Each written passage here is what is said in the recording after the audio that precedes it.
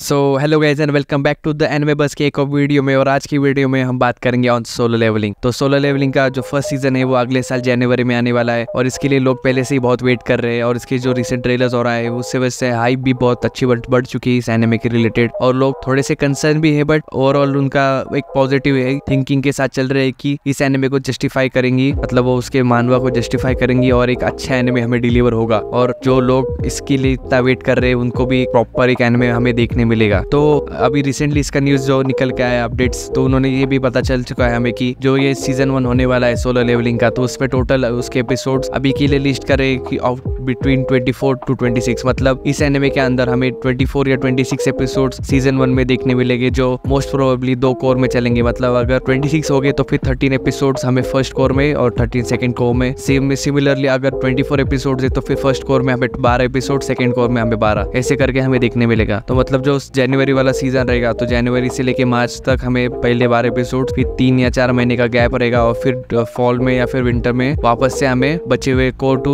बाकी के बारह एपिसोड ये देखने मिलेंगे तो मोस्ट प्रोबेबली अगले साल अगर इन्होंने अच्छे से किया तो फिर सोलो लेवलिंग रूल करने वाला है। क्योंकि वन पीस को अगर टफ देगा तो फिर वो सोलो लेवलिंग ही है अगले साल। तो देखते क्या होता है। तो इसी के साथ आज की वीडियो में इतना अगर आपको वीडियो अच्छी लगी तो वीडियो को लाइक करें चैनल को सब्सक्राइब करें। मैं मिलूँगा आपको ऐसे सिमिलर कंटेंट के साथ। See you guys until later